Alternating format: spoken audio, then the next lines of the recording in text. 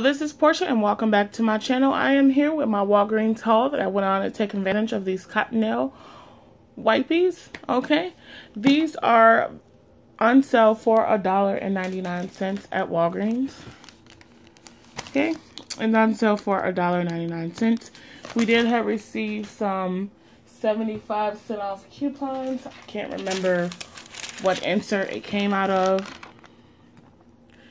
See, I went on ahead and used that to take off 75 cents and I ended up paying a dollar and 24 cents for each of these, okay? Um, like I said, I can't remember exactly what insert this came out of. Just, you know, go to tomcoupons.com to go ahead and ask to see exactly where it came from. All right, you guys have a good one. Thank you for watching. Bye.